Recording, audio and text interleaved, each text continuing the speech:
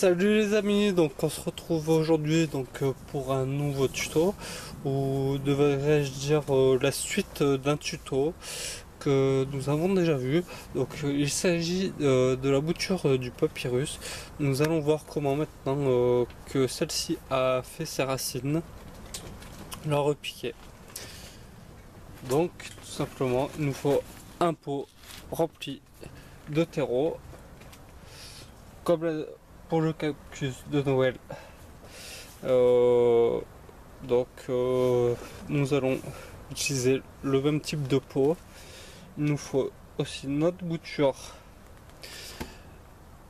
qui a fait de magnifiques racines comme vous pouvez le constater, mais aussi qui commence à faire des tiges aériennes. Donc tout simplement, nous allons préparer notre bouture pour commencer dans un premier temps.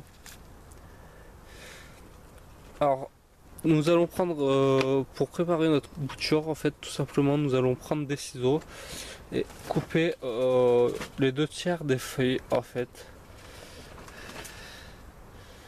à peu près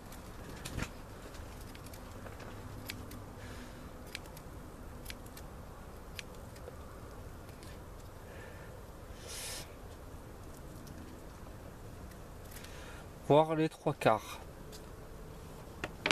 Ce qui nous donnera ceci au final.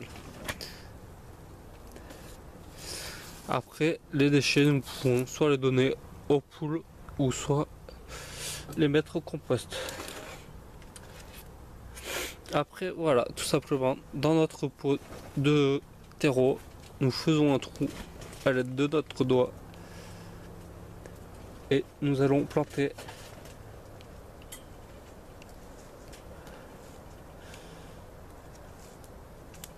et borné. Donc tout simplement, euh, la plante va reprendre tranquillement. Il ne nous reste plus qu'à arroser. Et pour arroser, bah, on peut prendre l'eau qu'il y avait dans le bocal euh, sans aucun problème. On arrose tranquillement tout autour.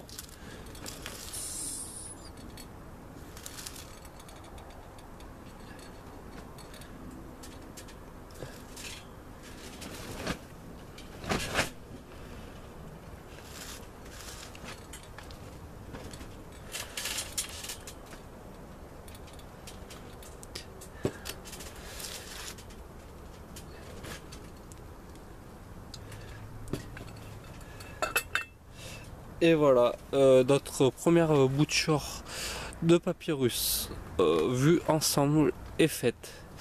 Donc euh, d'ici une quinzaine de jours, je vous montrerai l'évolution. pour vous faire voir que c'est une plante qui pousse assez vite. Et voilà. Je pensais repiquer plus tard, mais les racines se sont faites assez rapidement. Donc j'espère que cette petite vidéo vous aura plu. N'hésitez pas à liker, à commenter et bien sûr si vous n'êtes pas encore abonné, à vous abonner.